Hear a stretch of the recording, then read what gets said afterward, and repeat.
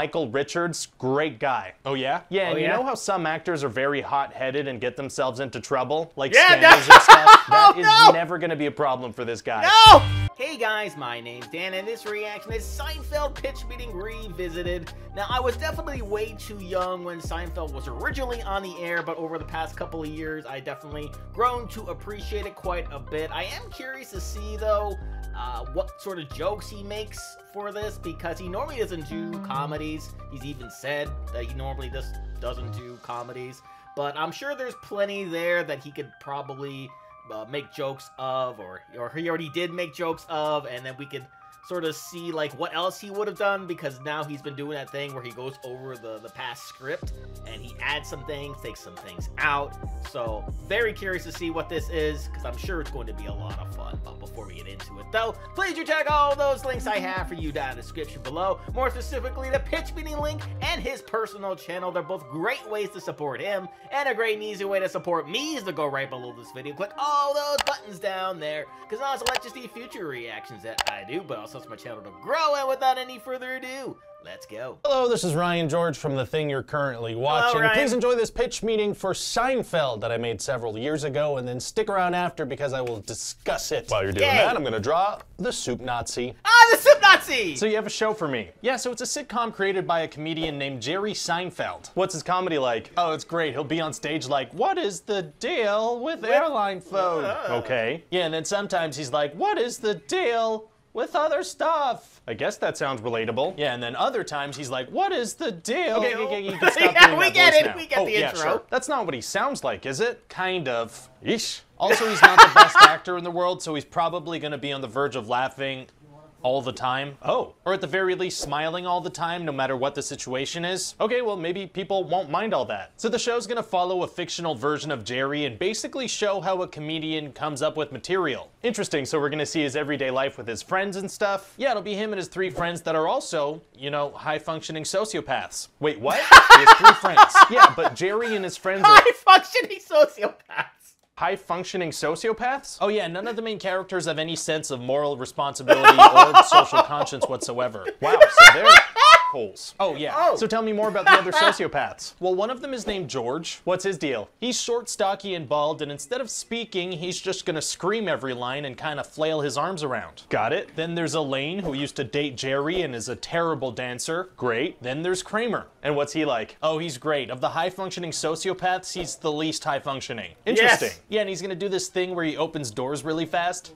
Oh. Yeah, and that'll Yeah, kind of be What? his thing. I'll be honest, I don't get that. He's gonna open the door in a funny way. Okay. Eh, If you get the right actor, I'm sure it'll play. All right. So what kind of situations are these characters gonna get themselves into? Uh, some pretty funny ones, and this stuff's gonna be relatable forever. Oh, that's good, because sometimes after a couple of years, storylines from sitcoms don't hold up anymore. That is not gonna be a problem here. The stuff is never gonna feel dated. So what kind of Oh, situations are we talking? You know, like when you need to call somebody, but somebody's using the payphone? Ugh, I hate Ah. that. Or like when you're supposed to meet up with someone, but you can't find them, and you're like, what am I supposed to do now? That is always going to be a problem. Yeah, Yeah, unless somebody invents a way to send like an instant message or something. Yeah, right, I maybe in a hundred mm. years or so. Also, we'll talk about how rude it is to use a cell phone to call somebody. So rude. That's never gonna be an okay thing to do. Mm-hmm. It's very selfish. It's mm-hmm. gross, is what it is. Agreed. Yeah, So what kind very of gross. humor would you say the show has? Well, I'd say very much like Seinfeld stand up. So he'll make observations and stuff? Exactly, like maybe they'll be at the post office and he'll be like, Why is there always a line at the post office? Hmm,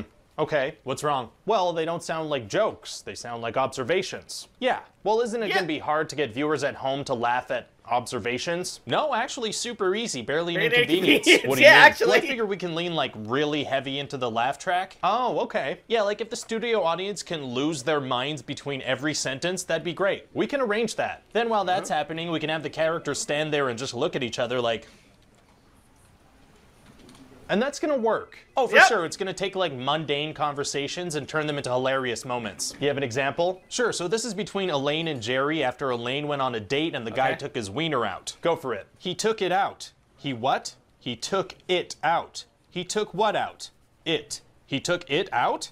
Yes, sirree, Bob. And viewers at home will think that's funny. They will if there's a laugh track between every single sentence. Fascinating. And so that's Ah, about so it. We'll just have these four running around New York City and getting into trouble. Sounds good to me. Great. And you know what? I think I have a person in mind for that Kramer character. Oh, Who's no. that? Yeah, this actor named Michael Richards. Great guy. Oh yeah? Yeah, and Oh, you yeah? know how some actors are very hot-headed and get themselves into trouble, like Yeah, scandals no. and stuff. That oh, is No. never going to be a problem for this guy. No!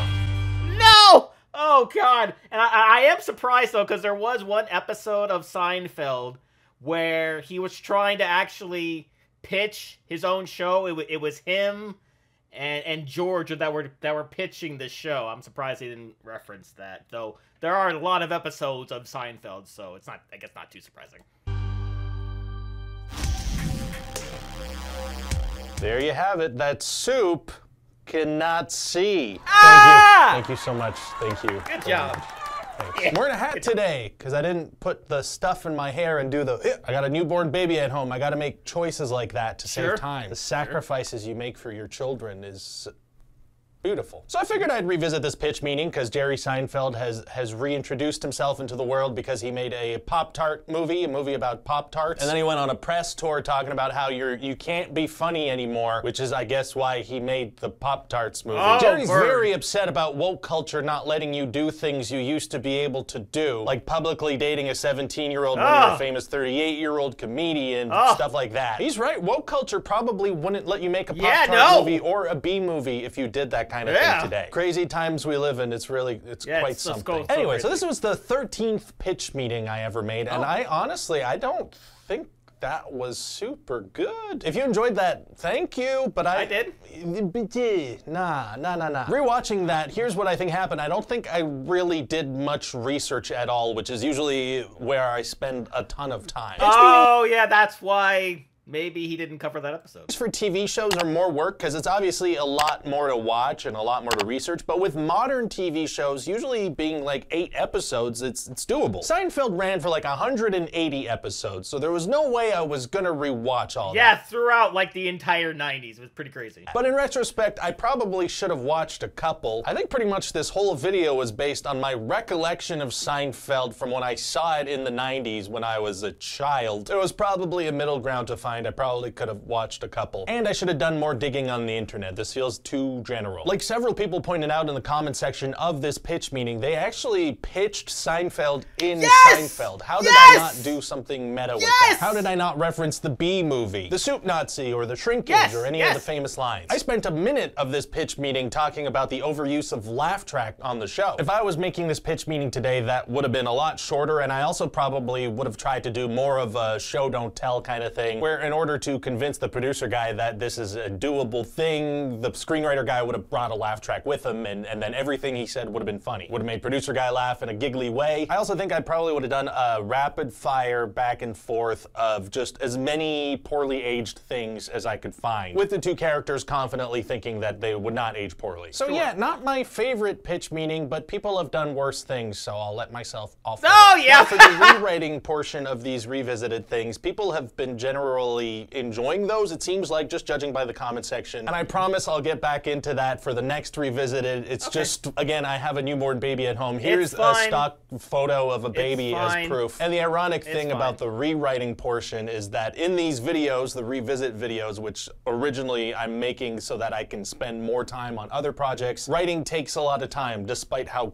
quickly edited they are. So I'm giving myself a week off of the rewriting section of the revisited thing so that I can take care of this stock photo baby. Yeah, but take it will care be of that back when my life gets photo. a li- tiny little bit easier. I hope that's okay. It'll and be years too before that And happens. here is question time. What was it like to work with the peeps over at HISHE? Your cameo in their video for Madame Web was awesome, and I'd love to hear how that came about. So for those who don't know, HISHE is How It Should Have Ended, which is a really great channel that also does stuff on movies. Oh, yeah, it's wonderful. legends. They've been around for a long time. And if you didn't see it, they included me in their Madame Web video, which I, not seen I'll that yet. link in the description. I was absolutely honored that they reached out. I'm a big fan of what they do. And in terms of working together, it was really super s- easy. I was about to say super simple. I don't know why I thought that would be an okay thing to do. They reached out to me and they're like, hey, we have a bit where we'd like to do the pitch meeting thing in our Madame Web video. Would you be interested? Is that okay? And they're also like, the video's going up in a couple of days, so let us know if it's possible. And that really impressed me because animation is time consuming. The fact Sure that a couple of days before release, they're still getting voices, crazy. These people work fast. Very, very impressive. Hey Ryan, very kind words. Have you ever thought about doing a pitch meeting entirely in French? I think it would be a funny April Fool's prank or something to do like a classic French movie pitch meeting entirely in French. I think that for me to do a French pitch meeting and for it to not tank, there would have to be some kind of worldwide phenomenon French movie, kind of Sure. like when I did RRR, you know? The YouTube algorithm is a scary and delicate thing and you don't want to mess sure with it is. too much. So the ball's in your court, uh, Paris cinema or Quebec cinema. I mean, we make things here too. Maybe something will strike a chord. Hi Ryan, kind words. What's your favorite food? Warmest of Canadian goodbyes from the Cariboo region. Stereotypically, I do love a good poutine, but blasphemously, I like to put weird stuff on it like ketchup, or there's places that make like General Tao poutine. That's really good. But beyond that, my absolute favorite food is probably just like a good club sandwich. Très bon, délicieux. Hey Ryan, great videos. Quick question. So like, what's up? Uh. Not much. Okay, thanks for watching. Not much, just, questions. just the baby. Yeah, I, I, I- I totally get that. I don't have any kids of my own, but like I, I, I have a dog who's basically kind of like a kid. Especially, uh, you know, he as he gets older, he needs more care and all that. So I, I, I certainly do understand and appreciate uh, his time and his effort that he puts into these videos, even though he has a kid now. Um, I, I do not blame him for wanting to take any sort of time off whatsoever. He's probably going to need to take a lot of time off, honestly, because uh, I I have nephews and I know they're a lot of work. So, Brian, go do your thing, man. Go do your thing. I am surprised though that he didn't do a lot of research about this at the time. You know, before he had a kid. So. the- There would have been so many other jokes again about the soup Nazi, about this, about that, about that, you know, that, about that episode that I was talking about. Well, I mean, I think there was like more than one dedicated towards it. But I think that would have been a funny little thing to add into that pitch meeting, considering, you know, pitching the show and pitching the show within the show. And he could have went off on that and went a whole tangent with it. I think that could have been a lot of fun as well. But it was still enjoyable. I know he didn't like it, but I honestly like it doesn't really take too much to make me laugh giggle a lot at different things. Sometimes at things that i probably shouldn't be giggling at but for the most part it you know everything about mo- most of the stuff about seinfeld i enjoyed and most of the stuff about this video i enjoyed. So that's gonna do it for me here. Comment down below. Let me know what did you think about this revisit. Please leave a like if you enjoyed. Please check all those links i have for you down in the description below. Then lastly and most importantly want to give a huge shout out to all my $5 and up supporters on Patreon. Cruising, Wolverine 310 GB, and Kester Cronin, Joseph McSweeney, Amber K, Raymond Bright, Joshy, Chris Curtis, Haley Machinardi, Ann Perry, Larka, Fox Cacophony, Morgan Page, Misa, Misa2, Lily the Snoopy fan, Lauren, Jenny the Swifty, Flea Street Vicom, Christopher Banyard, Steffi, Travis Knops, Sarah Long, Summer the Dog Lover, Scott, Misa3, and Andrew of the Voo. And if you too like to have a shout out in each and every one of my videos, please head over to patreon.com slash the Dan Reactor for more. And I'll see you guys next time.